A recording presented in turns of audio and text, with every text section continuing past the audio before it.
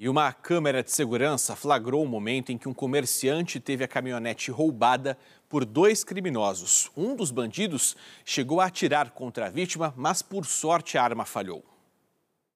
7h40 da manhã, uma caminhonete chumbo desce a ladeira.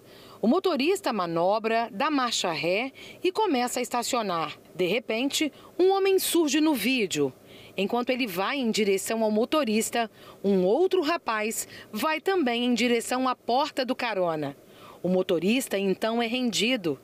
Ele desce do carro. Um dos assaltantes parece estar nervoso. Ele exige mais alguma coisa da vítima. O motorista chega a ser revistado, gesticula. De repente, o bandido aponta a arma e atira. Veja novamente: a vítima chega a desviar a cabeça. Assustado, o motorista corre. O assalto aconteceu nesse terreno aqui no bairro Cruzeiro do Sul, em Cariacica. A vítima é um comerciante de 45 anos.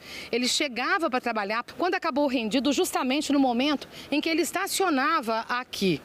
Mesmo depois de terem roubado o que o comerciante tinha dentro do carro, como a pistola que ele era autorizado para poder andar com ela, dinheiro e também celulares, um dos bandidos pediu o cordão de ouro que ele usava. Eles ficaram numa espécie de impasse aqui. De um lado, o bandido pedia o cordão, só que o comerciante não entendeu muito bem. Foi nesse momento que o assaltante atirou. A sorte é que o tiro mascou.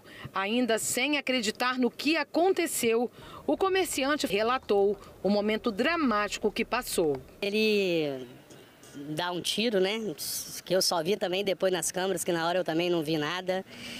O momento ali já estava de frieza e fui atrás deles ainda, mas por sorte deles eu não consegui encontrar eles. Mas a gente vai achar.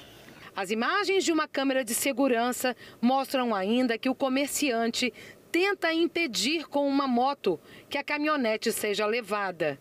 Ele ainda seguiu os assaltantes. Eu fui em fuga com eles pela leste-oeste, sem capacete, você não vê uma viatura, você não vê um, um posto policial, você não vê apoio nenhum para um cidadão que trabalha, que acorda cedo e tem suas lutas. Depois do que o comerciante classificou como livramento, ele afirma que só quer agora seguir em frente. Ah, agora eu vou vender esse carro, se eu achar que eu não quero nem ver ele e continuar trabalhando igual eu sempre faço, de domingo a domingo.